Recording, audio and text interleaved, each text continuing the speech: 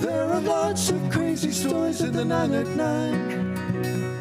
All right. Yeah, I think I'll start with number Let's nine. I am here to help you with all of your underpants problems. Oh, oh okay. don't say Tell underpants. Even if you're a normal person, even if you're organized, sometimes your underwear is just stuffed at the top drawer with all your socks and all your other personal items and your underclothes. And you should get yourself this Simple Housewares underwear organizer. The name says it all. There's Yes. individual spots for each pair of panties. Oh, come What's better on. than that? Yeah. Was that a, a sigh at the word panties or the organizer itself? Both. A little both. Well, that was a little Seems like ad-lib a I little threw too. in there. It seems like a little too much, right? I mean, you could just you see them all there. You just grab them, but now you have to fold your underwear too. You just, they're all right there.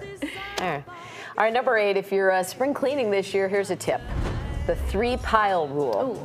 One to keep, one to toss, one to hide. Hide. I thought that meant donate or something. Well, let me keep reading. Now, it might sound weird to hide stuff, but experts say it works. Take the items you're not sure about and hide them in a bin somewhere. If you haven't gone into that bin in three months, you toss it or donate it. The mm. hide it test gives you a little time if you can't make that decision without committing to donating or tossing. But if you have not thought about it or wanted to use it, that's just proof that it's okay to give it away. I feel like that's a good way to just get a tub of stuff stuck in your basement that Uh, you'll never actually get rid of, lot of right? Bins, Like, yeah. Got a lot of them down there. Number seven, here's a quick history lesson about ranch dressing. It's been the best selling salad dressing in America since 1992. And that is the year that it overtook Italian dressing. And Oh. get this, it really did start when hidden, uh, at Hidden Valley Ranch. That is an actual place Huh. in the Santa Barbara Mountains north of LA. I didn't know that. A successful businessman came up with the recipe when he lived in Alaska. He had a lot of workers to feed, and so after they bought the ranch, people in California started loving his dressing, so he sold little packets of mix for 75 cents. That was in the late 50s. By the early 70s, it was so popular that he had a mail order business and he could barely keep up. Uh, so we got bigger, got some factories in Nevada, and sold it to Clorox in 1972 for $8 million. Uh, Kraft and General Foods then copied the recipe and they just called it ranch. What do you I know? Didn't actually Didn't started know there. all that. Didn't, had no idea. Cool. All right, number six, we're looking at some of the most stolen items. Here's one that you wouldn't expect deodorant. According to security analysts, deodorant accounts for 15% of stolen items from store shelves. They have no real explanation except that it's relatively easy to slip it under a jacket or toss in a bag without calling much attention to it. Boy, look at us giving tips to the criminals. Yeah. Which Just right up your sleeve. uh, yeah. Which could explain why you see all the deodorant locked away behind glass on store shelves, especially if you live in big cities now. 'cause Right. That's the most stolen item. Who knew? Okay. Uh, number five, stop paying your kids to do chores around the house. Don't worry. I Yeah. don't. well, apparently it's a terrible idea. Parenting experts say you should uh, keep allowances and chores separate. They say you shouldn't have to pay your children to clean up after themselves. It's just something they should do to contribute to the household. And it's something they should do to learn responsibility and to take pride in themselves. As far as allowances go, use that money to teach your kids about money. Give them allowances so they can learn how to save and keep track of their spending habits. Yeah. You Just do what you want. Yeah. You know, I used to get. Sometimes a 20 bribe works. so- Yeah, I would get um, 25 cents for pre- for piano practice a day. 25 Oh. cents, and that's how I would earn my allowance. I remember. So at the end of the week, you'd have like.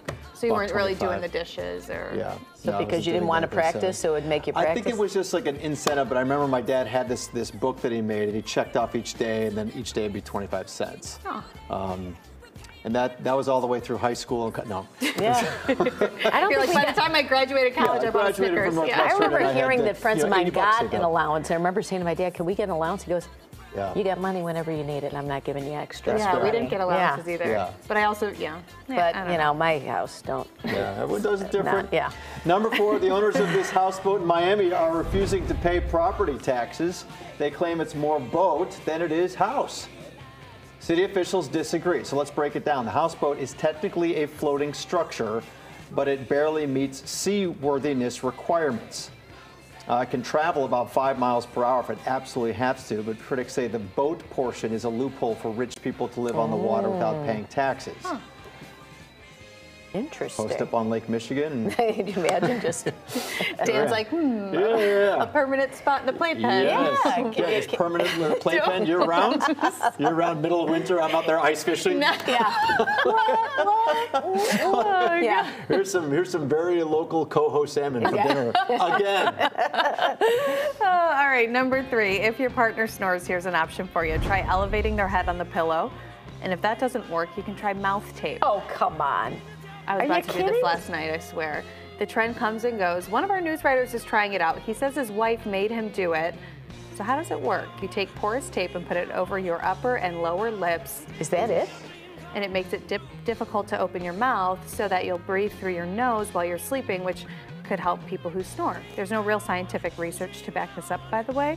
And as for our news writer who's trying it out, he says it's not helping. It freaks him out too much, and he's heading to the couch. Yeah. Yeah, it's like I you would feel like freak someone's out. suffocating you. Yeah. and Fall asleep. But desperate times, desperate measures. Separate rooms. Yeah. All right, number two, more from awful taste, great execution. Okay. Rice. Is it Rice rice snails? On your nails? Oh, oh dear. Oh wow. yeah. Date night. oh, I didn't see that transition coming. What is Okay. it's It's a chair? Okay. Starfish chair. What? What's this? I can't.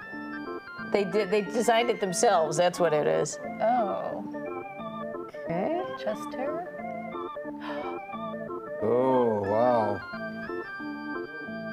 Can't tell if that's Fascinating. his hair or they just plucked the Cheetos on. Oh, I think he put the Cheetos on there. Okay. Yeah, but boy, it makes me hungry for Cheetos. I like the puffy Cheetos better than the crunchy.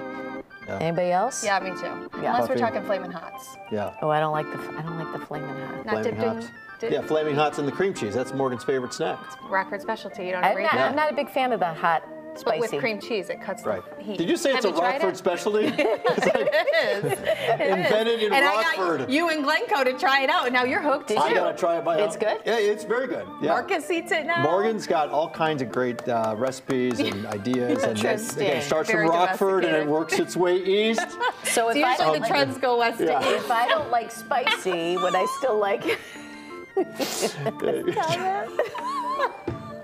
Work a lot of Wowie. Morgan and I just work each other up on this the we just have the thing. same I humor. know, I know, I know. We have nothing in common, but ironically, the, the, the exact same humor in so many categories. Yeah. Not all of them though. Don't rope me into some of those. I know. Yeah. All right, Daniel, you're That's up. good. Number one, uh, you can never go wrong with the clip from Video Mate, the dating service from the 80s. Uh, most of these guys might be taken by now. Let's hope. Are you looking for me? I'm looking for someone. Where can you be? Someone. Okay, early to bed, early to rise makes a woman healthy, wealthy, and wise. That's why you're wiser than me. It's Stephen. Hi, I'm Maurice. I'm an executive by day and a wild man by night. Hi, my name's Monroe. Uh, you've probably already noticed that I have incredibly blue eyes. Hi, my name is Phil. Uh, most of my friends call me Big Phil. Okay. Um, I like to talk to people uh, deep into the night. I play guitar. I'm Eitan. Hi, I'm Fred. Hi, my name's Mike, and if you're sitting there watching this tape smoking your cigarette, well, hit the fast forward button because I don't smoke and I don't like people who do smoke. Oh my. I'm not afraid to get sand on my tuxedo if you're not afraid to let the wind mess your hair up a little bit when I take the top down. Perhaps even a, a nice bath with some champagne and candles. Hi, Mom.